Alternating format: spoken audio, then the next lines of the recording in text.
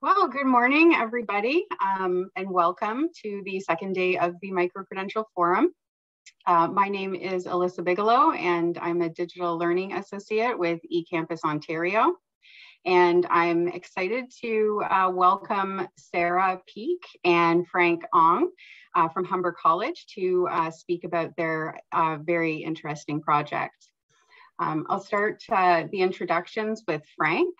Um, Frank uh, holds an MSc in medical sciences and is passionate in working with, um, with and for youth.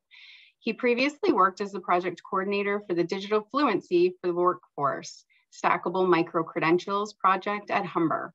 In this role, he led the implementation of the project with an interdisciplinary team of educators, workforce developers, and community and industry partners.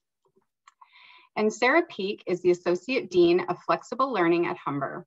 This new role at Humber supports the development and implementation of flexible programming initiatives and the ongoing review of existing programs to explore opportunities for flexibility to meet the rapidly changing learning needs of diverse students. Sarah is part of Humber's Center for Innovative Learning, which supports teaching and learning across the institution. So I'll be moderating the chat today and I'll uh, see you guys after your presentation. Uh, I'll throw it over to Sarah. Thanks so much, Alyssa. It's really nice to be here. And um, I was just saying this event is a significant one. It was the very last thing I did before the pandemic two years ago. So I'm um, glad to be back uh, and uh, really happy to know that you're interested in this project. Before we start, uh, Frank and I just want to take a few moments and uh, recognize that while we are uh, all in various places and territories and lands today, uh, that we have um, a common sense. Uh, Frank, I think we're on the wrong slide. Where we have a common, there we are, thank you.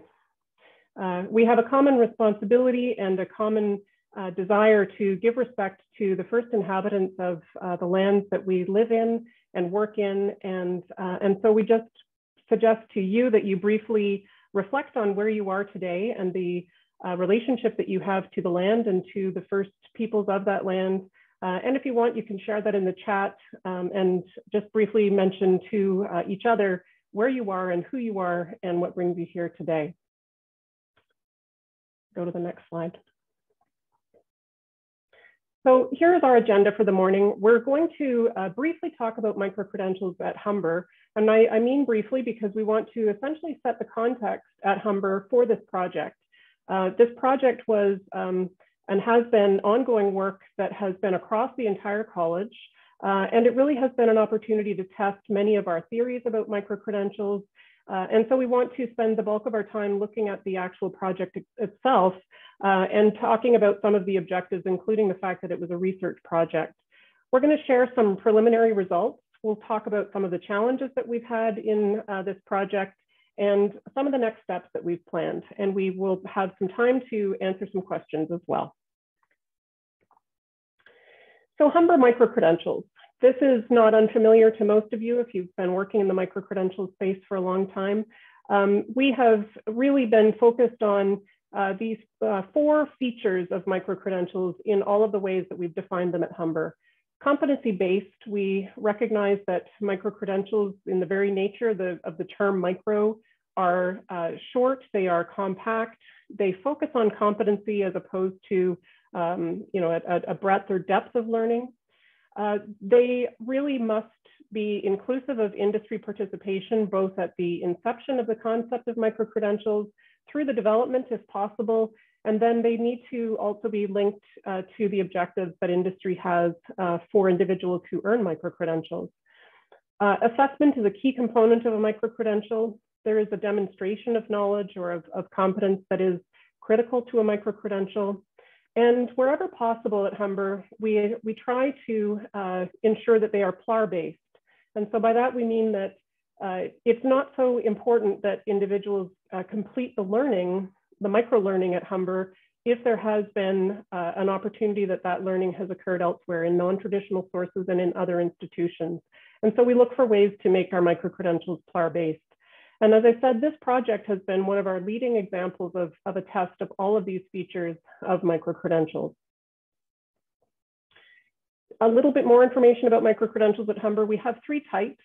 Uh, we, we have embedded microcredentials, which are really essentially certification of, of work that exists already in uh, post-secondary courses and programs.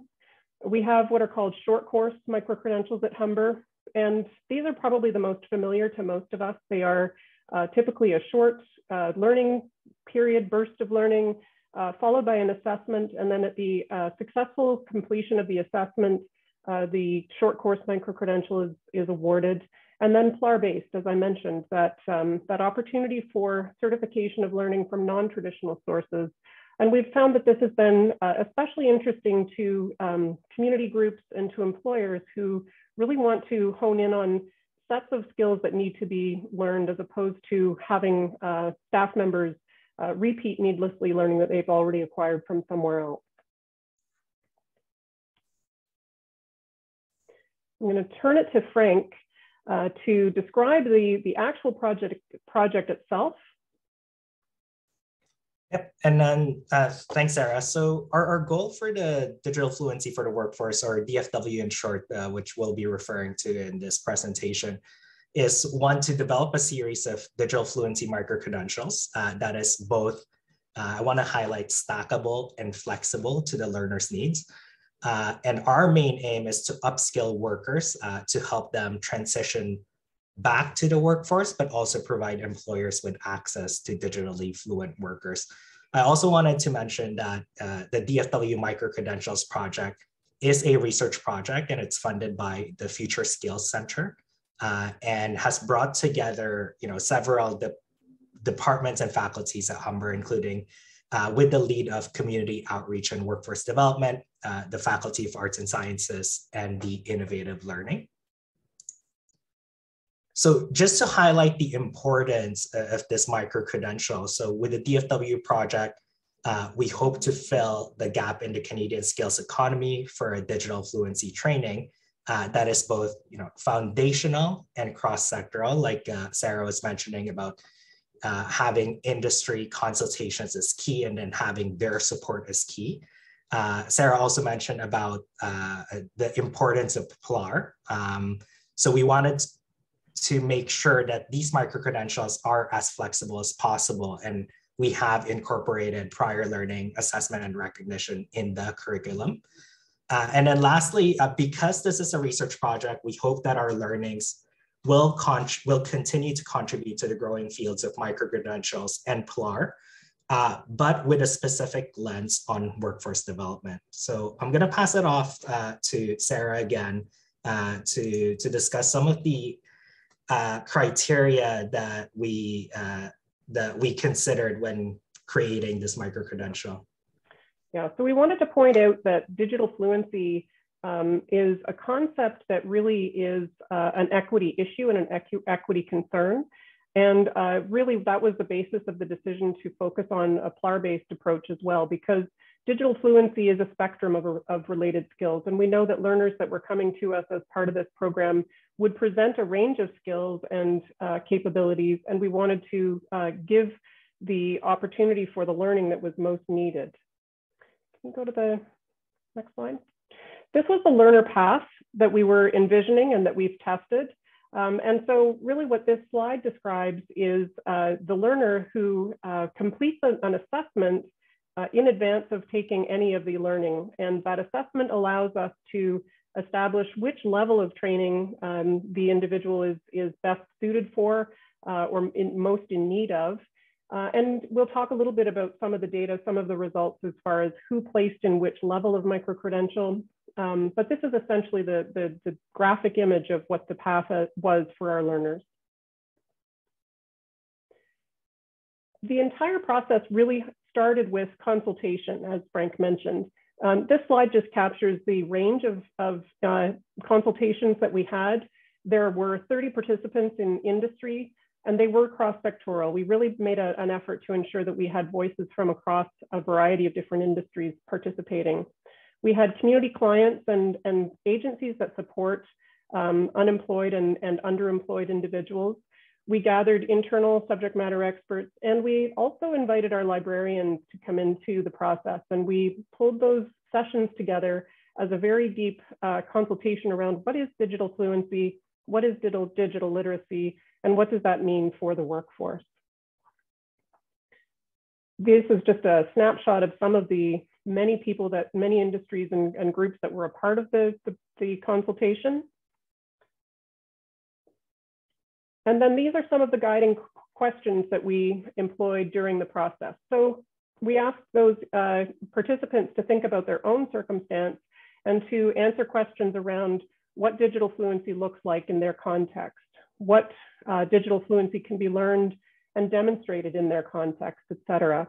And so each one of those uh, consultations had a different flavor and a different uh, set of results, but together they were able to uh, form and formulate the content of the uh, micro-credentials themselves.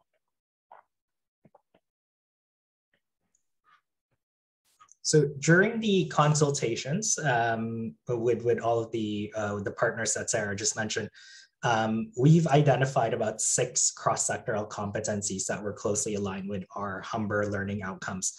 Uh, and these Humber learning outcomes are part of our strategic plan um, to ensure that all graduates possess the necessary competencies, not just to have uh, success in the workforce, but also uh, in, in, in, their own personal lives.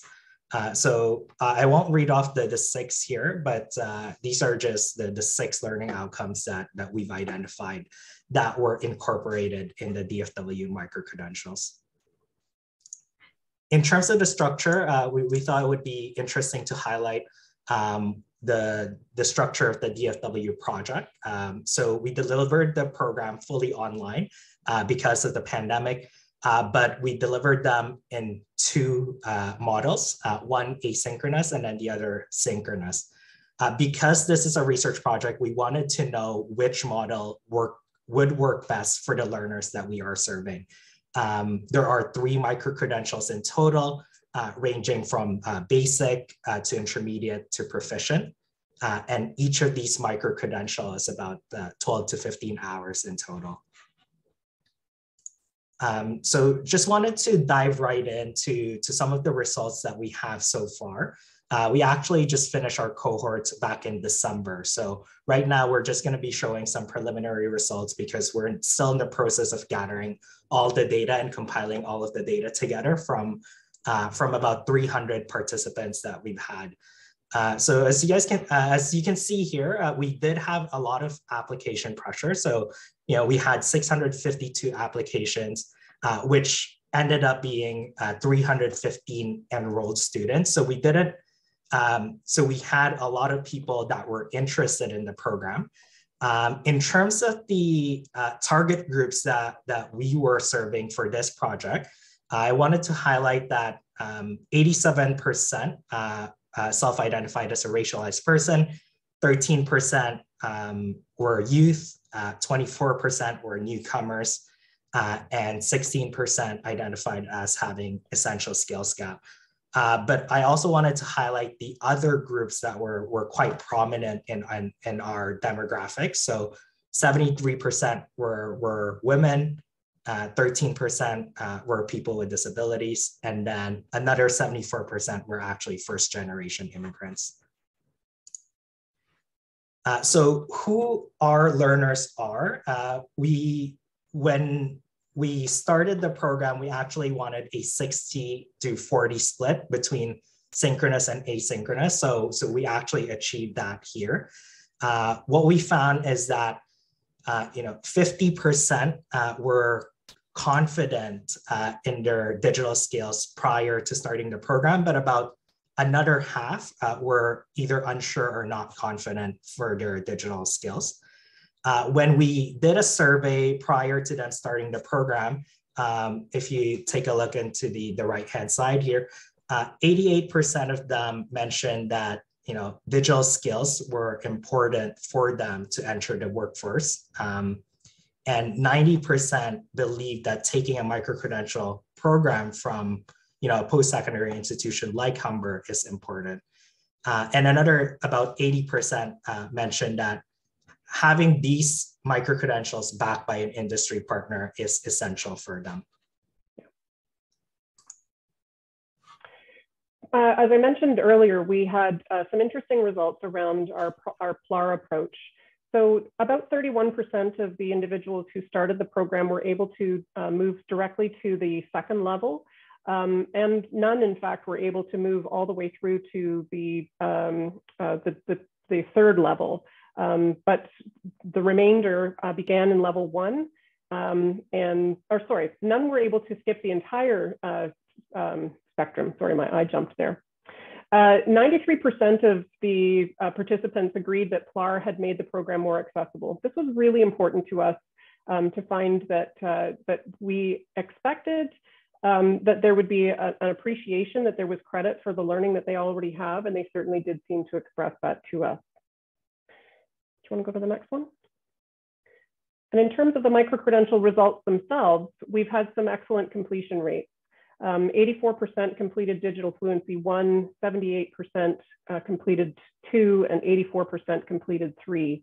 And our satisfaction rates were tremendously uh, strong among not just their own, um, uh, within the cohorts themselves, uh, and also their recommendations that they felt would, uh, would make them more valuable to employers um, and their recommendations to friends. We have included some of the testimonials and endorsements that we have from the employers that were participants in the project. And when you receive the slides, you're welcome to have a, a look through these. Um, there are a couple of slides with some endorsements and then a couple of testimonials of the, the participants themselves. Um, and this has been a very important part of the feedback as well, the success stories that they've told and shared with us about their uh, results and their experience in the program.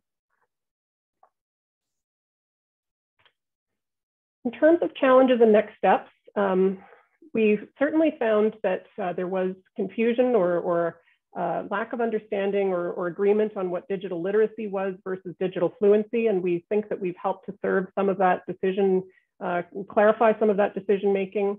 Um, there was some misconception as well in terms of what digital fluency meant in terms of you know computer applications. It's not just limited to those things.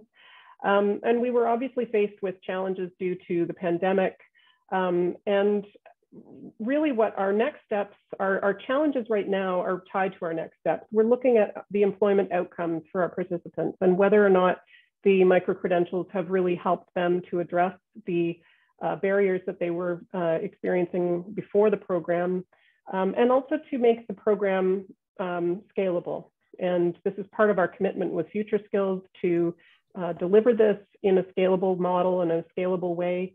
Uh, and we also know that the value of it, based on the feedback we've had from employers and from participants alike, that, um, that scaling is an objective that we, we want to pursue. And some of our next steps, I, I think, like I mentioned in the beginning, um, we're, we're still in the process of evaluating all of our project outcomes uh, uh, with, with the Humber uh, team, as well as the Future Skills Center. Uh, we're working on disseminating these knowledge either through uh, publications or conferences or seminars. Uh, and we have a, a whole team of curriculum developers and instructional designers that are uh, looking at our curriculum with a, with a fresh set of eyes to see what are the changes that we can potentially implement uh, to make the program uh, better at each iteration. And like Sarah mentioned, uh, scaling of the program is, is one key thing that we're also working on. So I'm just gonna open it up to uh, questions. Sarah, was there anything else that we wanted to talk about? No, but we are definitely interested in, in questions and feedback. All right. Well, thank you so much, Sarah and Frank. That is a, a phenomenal project, um, and the results are outstanding. Um, those are incredible. Um, there are a few questions coming in. Um, so I will start um, with a question from Minette. Uh, and uh, the question is, is there a fee uh, charged for the initial PLAR assessment? So no, um, we were able to deliver this, this uh, you know, to the 300 participants without um, a, a, charge at all. And that's due to the funding that we've had through the Future Skills Center. And when we talk about scaling and we talk about uh, making this project feasible in other contexts, that's part of the equation to say, how do we build pre-assessment into um, all micro-credentials. And we've been doing some of that work and have some of those thoughts at Humber and some other um, uh, trials that we're doing with some other work that we have. Okay, fantastic. Uh, another that's come into the uh, Q&A, um, does Humber College have a policy or governance process that oversees the review and development of the micro-credentials? That's actually been work that's been happening in parallel with this project and some other micro-credentials that we've launched. So there has been um, other structural work just in terms of reporting and uh, uh, organization to support launching micro-credentials as a, a, type of offering at Humber. And built into that is a quality assurance process that um, ensures that what we deliver is uh, fully aligned with other products at Humber, is fully aligned with uh, the requirements for the ministry in terms of OSAP eligibility. And um, as important as those things are, also to ensure that uh, the market, the employer, the earner of a micro-credential understands their value and can actually stand on their value. So quality assurance is absolutely at the heart of um, all of the micro-credentials that we're de developing and delivering here. All right, fantastic. Um, another question that's come in is um, which teaching model um, were the courses facilitated using? Um, I know you did mention um, that you offered uh, synchronous and asynchronous. Um, were there any other options that the students had? Frank, do you want to, are you able to answer that or do you want me to try? Um, sure. Um, in terms of the, so it, we offered it in synchronous and asynchronous uh, through Blackboard. Uh, the, the main difference between the synchronous and asynchronous is that both models are still self-directed. So uh, each student had about 13 weeks to complete the program uh, they don't have to take that entire 13 weeks to actually complete the program. Some complete it in four weeks, eight weeks, etc. Um, with the synchronous, they have the opportunity to attend those live sessions every week with a facilitator. Uh, and then the asynchronous, uh, they have the opportunity to attend office hours uh, that are virtual with the facilitators and also ask questions via email or, or phone call. So with both models, they do have access to a facilitator that will be helping them um, with all of the modules that they have to complete as part of the uh, micro-credentials. The original plan was that there would be, the two models were going to be an in-person and an online. And that was envisioned before the pandemic. And so we had to completely shift.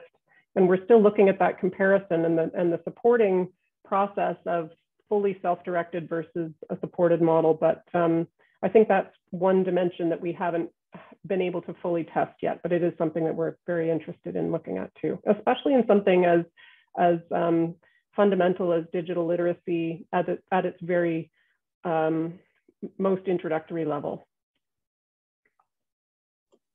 Great. Yeah, the, the pandemic kind of mucked things up a bit for everyone, I think. Um, uh, I think we have time for a couple more questions. Um, so uh, Megan asks, what is the eligibility criteria for participants? And when they speak of, when you speak of scalability, uh, would this learning be accessible to learners outside of Ontario? Frank, I think you've probably got the data on that one. Yeah, um, uh, in terms of criteria, um, we were looking at um, uh, targeting four uh, target groups. Uh, so as long as they fit within one of those four groups, they would be eligible for the uh, for the uh, for the micro credentials. So youth ages 19 to 29, um, um, people self-identifying that they are in need of essential skills, um, racialized groups, as well as newcomers within the past five years in Canada. Uh, one, um, one additional criteria that we do ask is that they are actively job searching uh, and they are not working full time right now uh, because they would need that time to um, to actually devote to to the program and to to transition back to the workforce. So those are the major criteria. So um, um, fitting into that one of the four target groups as well as the um, not as well as actively job searching right now. And Humber has uh, five employment agencies, employment uh, service centers that we um, uh, operate around Humber's campuses and GTA. And we were able to use those centers as places to recruit individuals and to provide the initial screening for the program and, um, and provide some level of support to them. Um, you know, just in terms of ensuring that people had access to technology. When we spoke about uh, digital fluency as an equity issue, we had to deal with instances where individuals wanted the program but didn't have access to the tools that they would need. And, and uh, that was information that was um, also part of our consultation that uh, employers who need entry level employees, but they need them to, to begin with a particular level of digital fluency, and yet those individuals may not actually have access to the technology that's going to give them that skill. And so that's one of the, the sticky problems that we're um, that we're working through with this program and, and why it was so important for Humber that this program be something that was offered across the institution. So the support from uh, the faculties, but the leadership of community outreach and workforce development was really um, a critical piece in order to make this program uh, successful. Great, okay, excellent. Um, we've got lots of questions coming in here, so I'll get through as many as we can with with a, with about four minutes left or so. Um, we have a question: How shareable is the competency model? so um, everything with respect to Humber's uh, the, the Humber learning outcomes is available on our our Humber.ca website. Um, and as Frank mentioned when he was talking about the competency framework, it was really rooted in that uh, Humber Learning Outcomes um, piece. And uh, I think we, you know, I, I, think that the competency model um, is something that we would be able to, to give some sharing. Uh, we're including the competencies that we were uh, able to define through this project in the slide deck. And I would just say that if people have follow-up questions specifically, you know, you certainly can find us and, and reach out um, to speak more about what that model looks like. And, uh, you know, it, when we talk about scaling, uh, sharing this information and sharing this no knowledge, um, that's really the basis of how we will be able to scale this project. And, and obviously digital fluency is something that all of us have uh, a direct um, interest in. So I don't think we're being terribly proprietary about it, but at the same time, you know. Gotcha. Um, okay. Um, we also have a question about um, the learner feedback mecha mechanism that was used to gather the, uh, the survey data.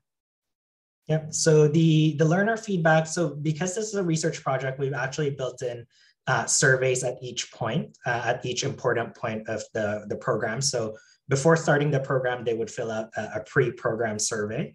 Uh, after completing the program, they would fill out a post-program survey.